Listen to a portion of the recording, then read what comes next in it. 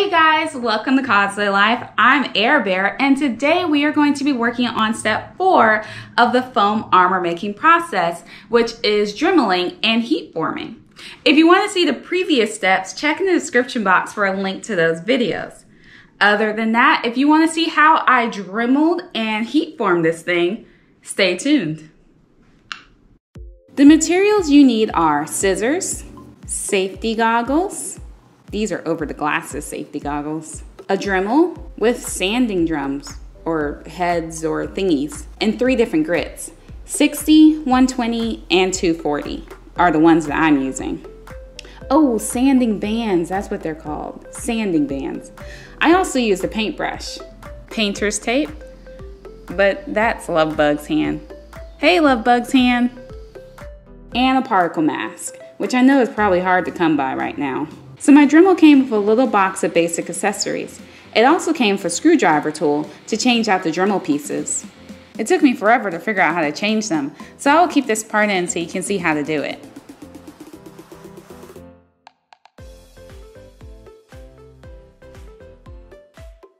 So I used the coarse grit for this first pass to get the material in the right shape.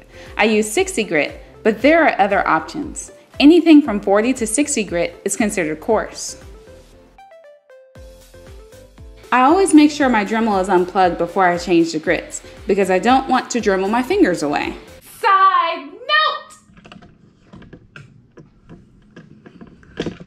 So if you're watching these videos in order, you're gonna notice that I'm going to Dremel the top and bottom trim in this video, even though I glued it down in the previous video.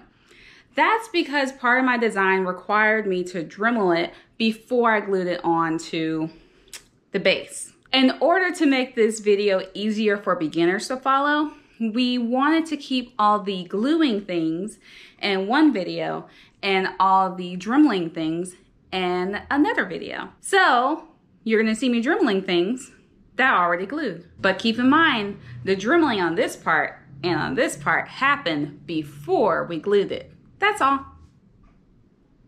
Back to the video! So this first pass of 60 grit is just to get the material into the right shape. I'm working on rounding the top edge, so I Dremel back and forth in order to take the material away. I've heard people say to only Dremel in the direction that the Dremel is spinning, which first of all, how in the world do you figure that out? It's spinning so you can't see it. But if you let the Dremel sit gently on the foam, it will tend to roll in a certain direction. The direction it rolls in is the direction that you're supposed to Dremel in. Also, I just discovered that there's an arrow on my Dremel that tells me what direction it rolls in. But I find that only going one direction takes a lot more time. I do the one direction thing when I'm smoothing the shape that I already created. And I create that shape by moving back and forth with the coarse grit on the first pass.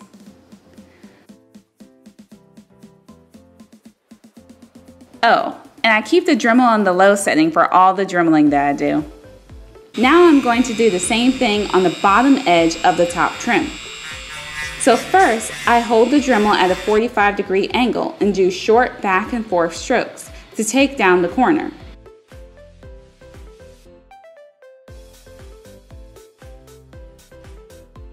Then I start going over any other lines I see until I have a rounded edge.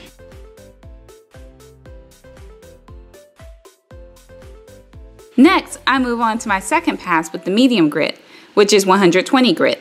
But medium is considered anything between 80 and 120. I want to start smoothing the shape I created, so I move in one direction with the Dremel.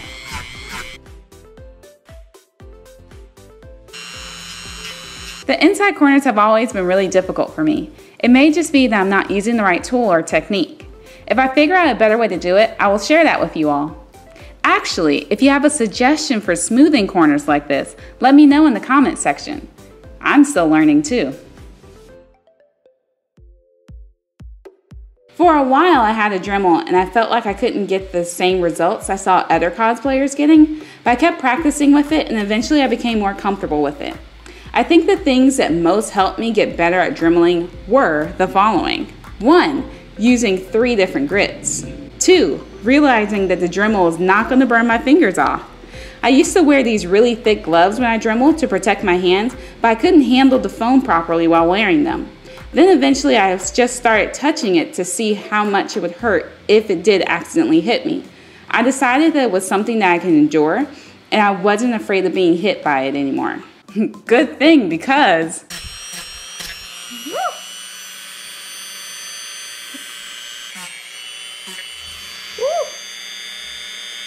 Yeah, I'm gonna put some. Yeah, it happens. Three, practicing and being okay with whatever I was able to do. Yeah, my seams and my edges may not be as smooth as other cosplayers, but it was better than what I had been doing originally. If you're just getting started, maybe those things can help you too. So the second pass helps to take away the rough edges left by the first coarse grit. Look at that. Oh my goodness. Okay. Unplug and then we're gonna do one more pass. Next, I get the Dremel ready for the third pass with the 240 grit.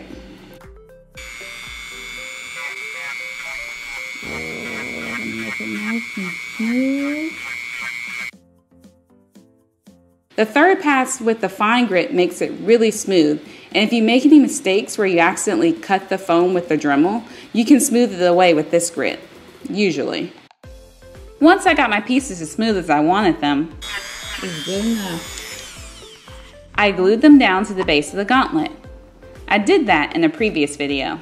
Check the description box for a links for that one. And now that it's all glued together, it's time to Dremel the rest. Wait, I know what you're thinking. Hey, in the last video, you told us not to glue the felt. Why did you glue it? Because I was foolish, that's why. I glued the felt down too early and I was hoping to keep you all from following down my dark, dark path. Don't glue it yet. It's a mistake.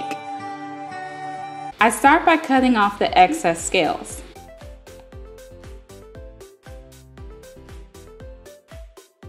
The first time around the gauntlet, I Dremel at a 90 degree or perpendicular angle in order to make all the edges flush. Oh, and this is the first pass. So just like the other pieces, I will use a 60 grit now and use higher grits with my other passes.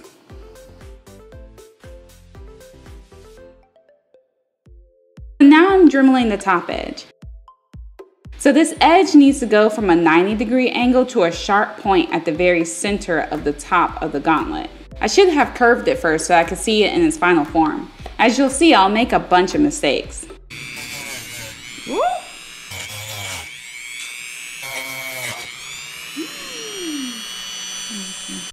So for now, I keep dremeling away.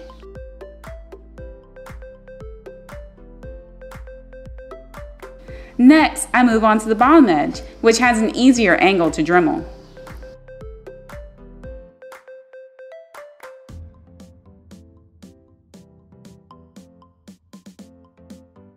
So I don't know if this actually helps anything, but I brush the Dremel off because it just makes me uncomfortable having that much like fine dust getting sucked back into the Dremel. I feel like it's something that could possibly break it or cause it to overheat. So I just use a brush and I brush out the little Dremel bits. But I've never actually seen anyone else do that, so it may just be me. Next, I move on to the second pass with the 120 grit and just start smoothing out the shape.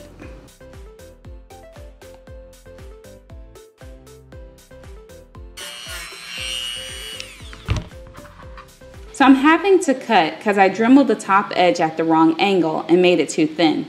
If only I had curved it, all of this would have been easier.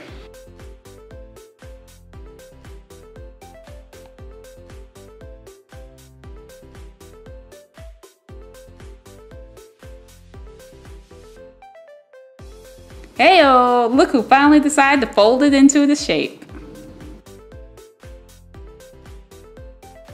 And here goes the final pass.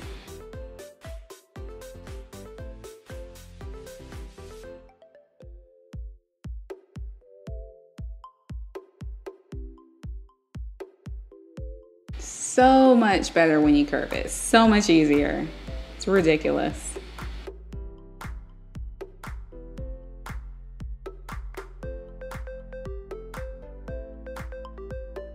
Just keep dremeling until you're satisfied with your work. I'm just gonna quit. I'm not doing anything. Look at all these little tiny slivers. So when it comes to heat forming, I use a heat gun on a medium setting.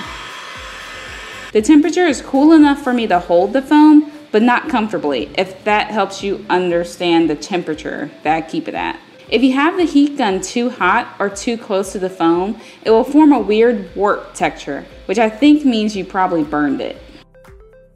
First, I go ahead and warm up the front and the back of the foam. Because the trim is thicker, I'm making sure to get those areas warm. On the top part of the trim, I'm also working to open up those cuts that I made earlier.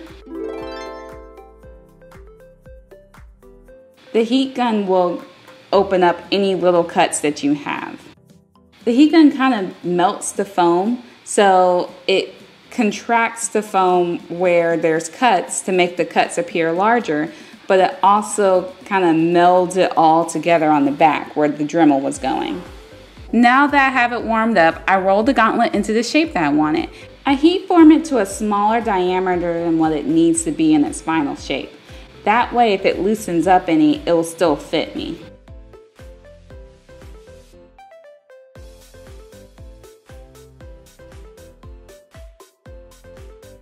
And I let it sit in this shape until it is completely cool. I use tape to hold the gauntlet in the shape. I like painter's tape because stronger tapes may rip the foam once I try to remove it. I think because I had felt, it made it less likely to keep the heat form shape. Another reason not to put felt on until later.